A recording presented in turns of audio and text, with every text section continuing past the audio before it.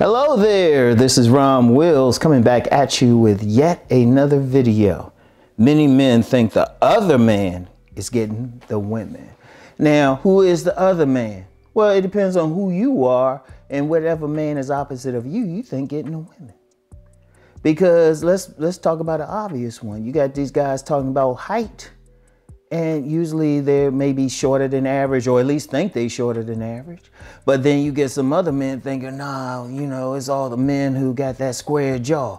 Of course it's being said by a man who doesn't have a square jaw. Indeed you get some men who actually have square jaws and be like uh, no ain't that easy you know, it's the introvert thinking all the extroverted men are getting it, but then you get some extroverted men, they say, well, it's that quiet, mysterious dude. You know, and this ain't some recent uh, thing that's happened like with social media. It's always been there. You know, back in back in the day, back in the day when I was young, you know, the general feeling, especially in the 80s, was, especially in the black community, was that all the light-skinned men were getting the women. I actually thought that until, hey, let's say, mm, let's say a couple years of high school, but then I thought about it one time. I was like, well, no, Hey, that pretty girl showing some interest. That pretty girl showing some interest. That real pretty girl giving me good hugs. And so I see, I kind of got out of it, but I understand because that's even the same case nowadays.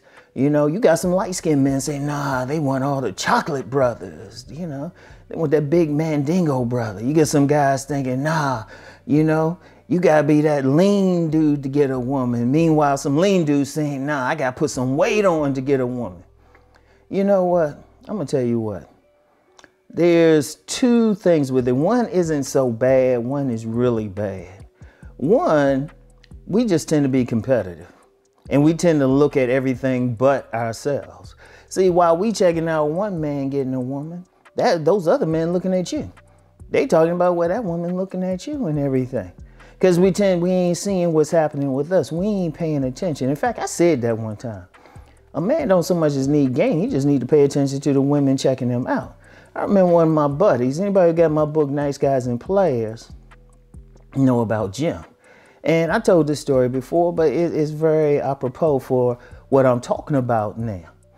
The thing, Jim, I go to a club, be just trying to holler at a woman and all of that. The woman, you know, not showing any interest. And he'd be like, Rom, those other three women were checking you out the whole time. Like, no, I don't care what it is. And shoot, I've even had that with some players. Somebody think, well, I gotta be that, I gotta put on this, I gotta put on that. That's one level. Another level is just low self-esteem.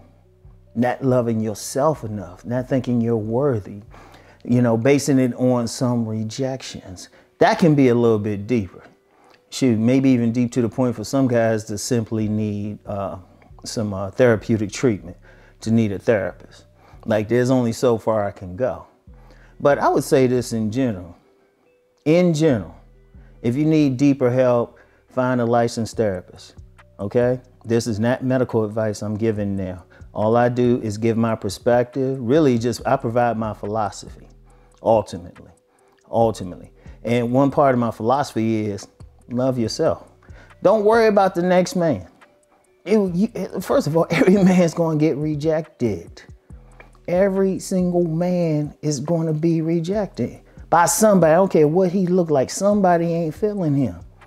I know of actual Hollywood stars. I could call their names from women who know him, and they say, "Nah, he having this problem. He having this problem. His woman cheated, something like that." Somebody's going to, because I don't care who you are. Every woman ain't to like you. And there's four billion women in the world. Look, if you got a new woman every day, every day, for 10 years. A single, uh, every day. 3,000 something women. Every day for 10 years. Every day for 10 years. And leap year. So 3,600 uh, something women. All right. I don't even feel like trying to figure out those last few numbers. All right.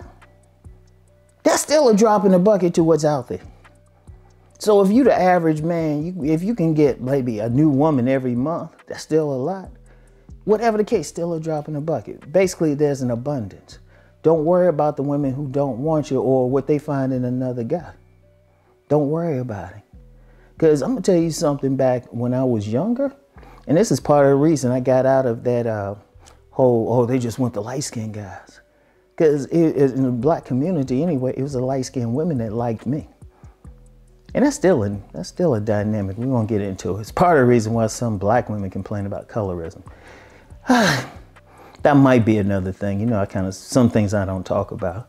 But I started paying attention. I was like, well, hold up. All these, uh, and the term we used in the time, red bones. I said, well, hold up. These other women chasing those guys, but all the red bones liking me. So I was like, so I said, you know what? Let me stop worrying about these other guys and stuff. Because look, Here's the bottom line too, and I've talked about this several times. Every woman got something different she like. You know, some women like a slim man. Some women, the guy gotta be muscular.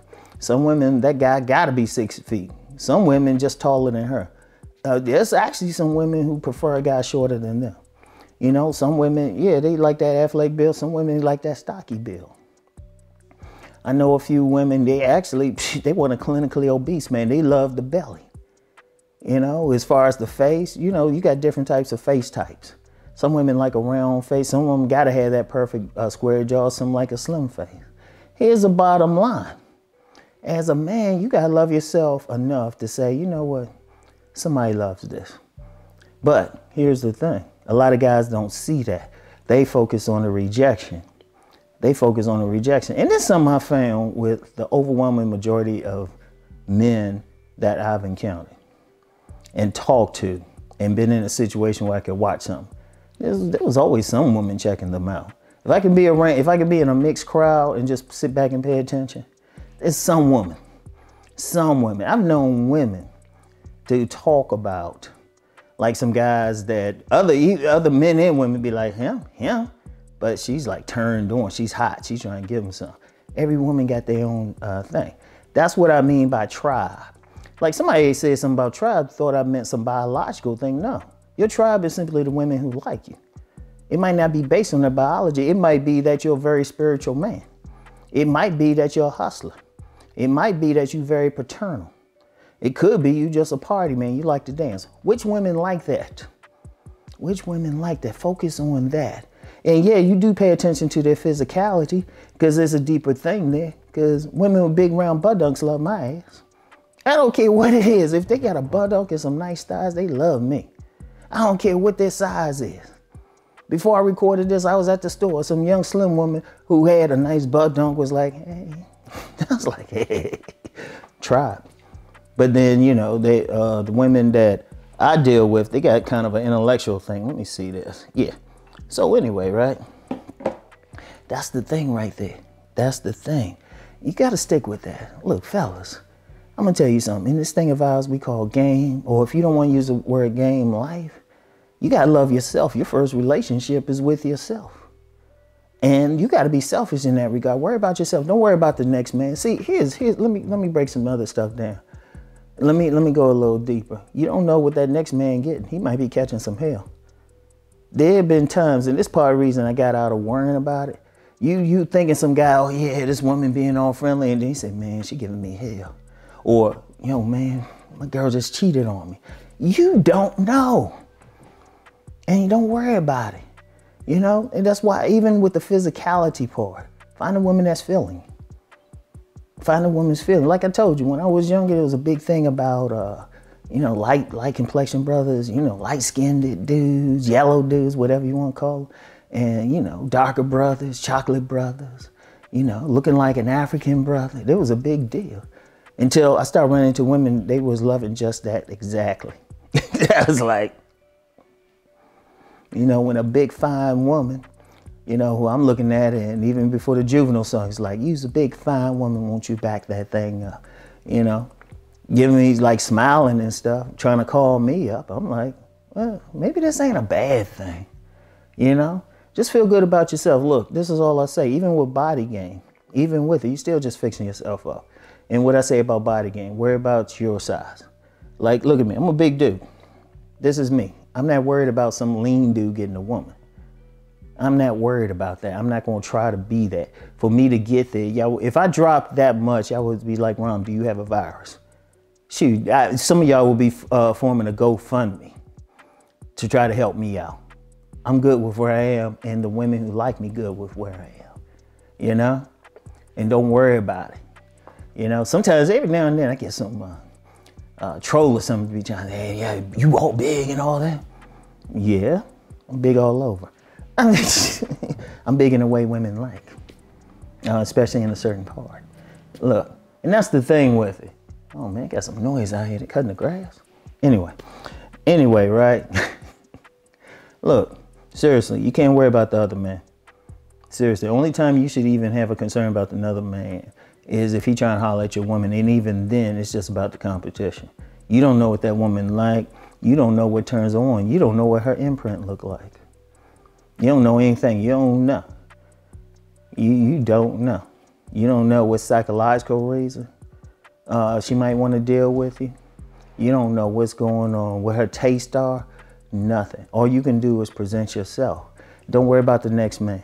Even if you know him well, you don't worry about it. Don't worry about why a woman want him. Shoot, and really, I'm be real with you. If you you might be out and you see a woman walking with some dude and you think, oh, the one fine women want him. I've known some very attractive women. They had gay friends that they would hold hands with out sometimes. Sometimes women will hold hands with a guy she's with platonically.